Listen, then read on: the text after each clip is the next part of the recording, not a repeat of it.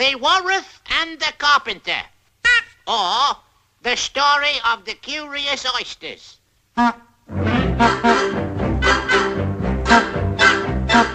sun was shining on the sea, shining with all its might. He did his very best to make the billows smooth and bright. And this was odd because it was the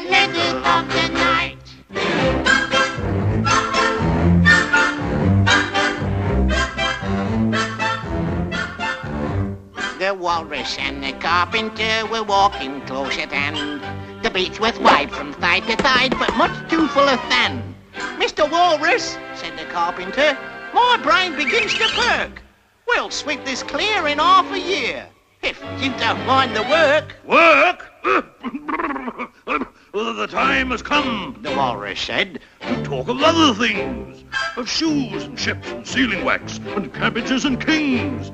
And why the sea is boiling hot and whether pigs have wings. Callooh, Callay, no work today. We're cabbages and kings.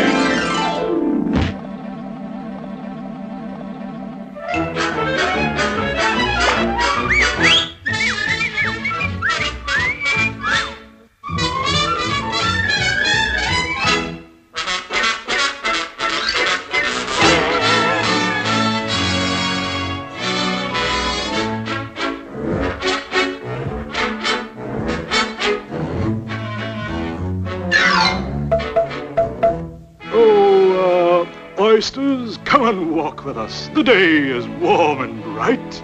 A pleasant walk, a pleasant talk would be a sheer delight.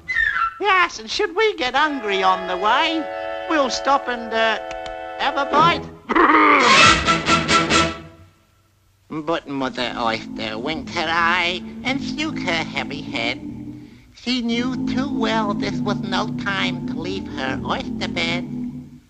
The sea's nice. Take my advice and stay right here. Mum said. Yes, yes, of course, of course, but, uh, ha-ha, the time has come, my little friends, to talk of other things. Of shoes and ships and sealing wax, cabbages and kings, and why the sea is boiling hot, and uh, whether pigs have wings. Ha-ha, Callooh, Callay, come run away, where the cabbages and the kings.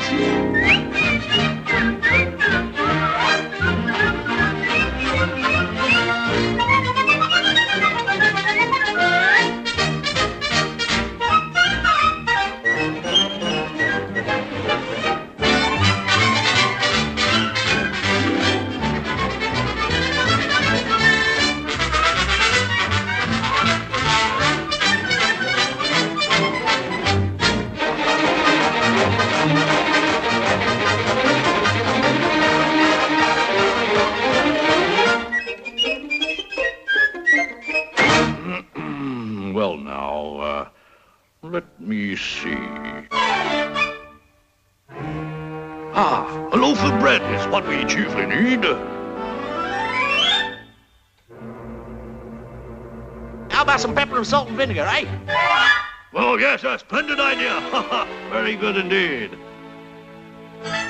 Now, if you're ready, oysters dear, we can begin the feed. Feed? Oh, yes. Uh, the time has come, my little friends, to talk of food and things. Of peppercorns and mustard seed and other seasonings.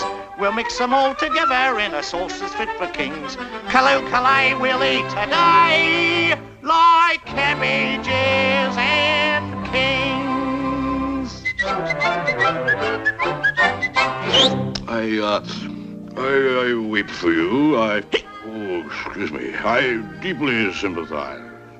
For I've enjoyed your company, oh, much more than you realize. Little oysters, little oysters. But answer there came none. And this was scarcely odd because they'd been eaten. Every one. Callooh,